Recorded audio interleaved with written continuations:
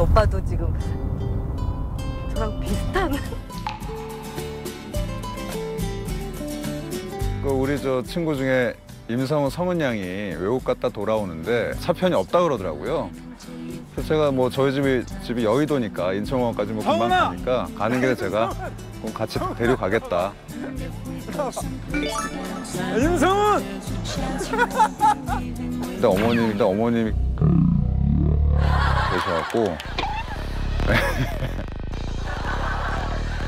아, 아유, 야, 어, 어머니죠? 아유, 어머니 안녕하세요. 아, 예. 아, 어머니 같이 갔다 오시는 거예요? 오. 아, 난 너 혼자 나오는 줄 알았어. 아, 예, 안녕하세요. 인사드리겠습니다.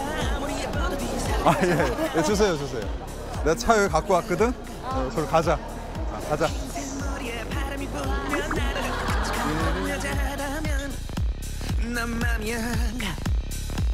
어머니 좀 타세요, 먼저. 여기 시원하니까 좀 앉아 계세요. 여기 앞으로.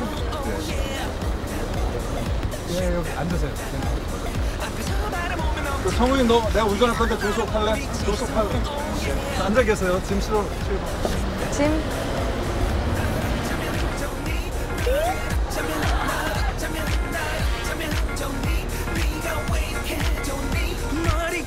아. 감사합니다. 아유, 뭘요.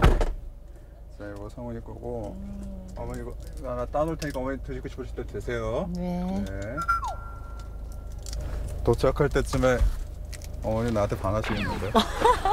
어머니 나한테 반하시겠는데? 엄마, 오빠 재밌지? 뭐가 재밌어? 네. 어, 오빠.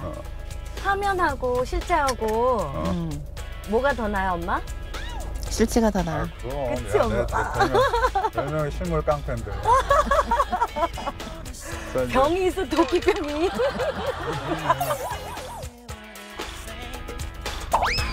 운전할 땐안 나왔어야 돼. 오빠, 어, 안전운전이요? 아, 그럼. 작동을 미숙해가지고 좀 뭐, 어렵네.